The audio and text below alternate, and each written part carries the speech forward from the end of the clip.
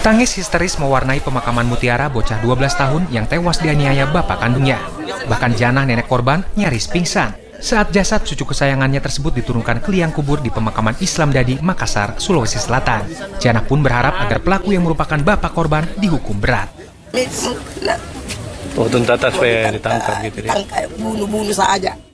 Duka mendalam juga dirasakan sejumlah kerabat dan rekan korban. Semasa hidupnya, bocah malang tersebut dikenal baik mudah bergaul. Eh, sehariannya sering main sama saya, Ya, teman-teman ini semua.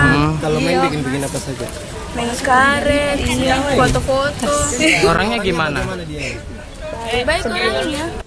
Sebelumnya pada Rabu siang, jenazah Mutiara sempat disemayamkan di rumah kerabatnya di Jalan Rapocini, Makassar. Indriani, 9 tahun yang merupakan adik korban, mengaku sangat trauma dengan perlakuan bapaknya RD terhadap sang kakak. Ia melihat langsung ketika RD memukuli kakaknya dengan balau kayu.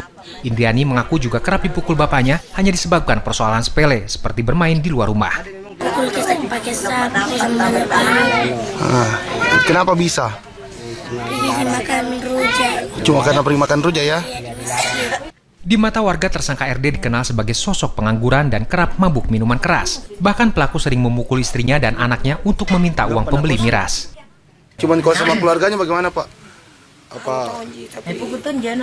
Maksudnya, ser- ringan tangan dikenal. Orang yang ringan tangan sama nangis. Penganiayaan yang dialami Mutiara, bocah 12 tahun ini terjadi selasa malam. Bapaknya kalap karena pintu rumah dikunci oleh korban, yang saat itu tengah bekerja sebagai juru parkir di Jalan Urip Sumoharjo, Makassar. Pelaku naik pitam lalu memukul kepala dan tubuh anak kandungnya dengan balok kayu hingga tak sadarkan diri.